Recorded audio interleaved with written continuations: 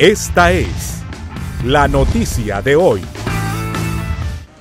Este domingo por la tarde se dio la resolución de la audiencia para los cuatro supuestos implicados en el asesinato de Berta Cáceres, donde el juez decidió decretarles auto de formal procesamiento y prisión preventiva.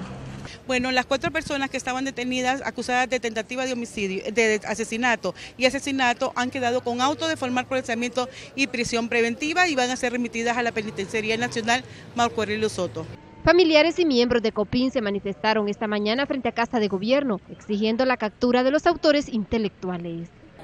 Fíjese que los actores intelectuales que tiraron la cantidad de billete para que asesinaron a Berta, ahí no hay gatos, ahí hay personajes de, de altos quilates, poder económico, poder político, poder psicosocial y poder militar, que dentro de su gobierno hay actores intelectuales que pagaron y planificaron el vil y horrendo asesinato de la compañera Berta Isabel Cáceres Flores. Y yo se lo voy a decir con propiedad. Fíjese que una de las estrategias de este gobierno es hacer desaparecer los pueblos indígenas, reprimir, asesinar, torturar y terminar el movimiento social hondureño.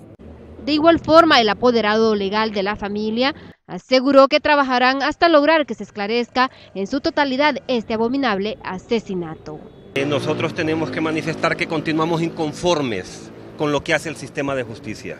¿Por qué nosotros manifestamos nuestra inconformidad? Porque si bien es cierto, hoy se han logrado autos de prisión y medidas cautelares de detención preventiva contra cuatro imputados, nosotros creemos que este es el, tercer eslabón de las responsabilidades en el país eh, atribuidas al asesinato de Berta Cáceres.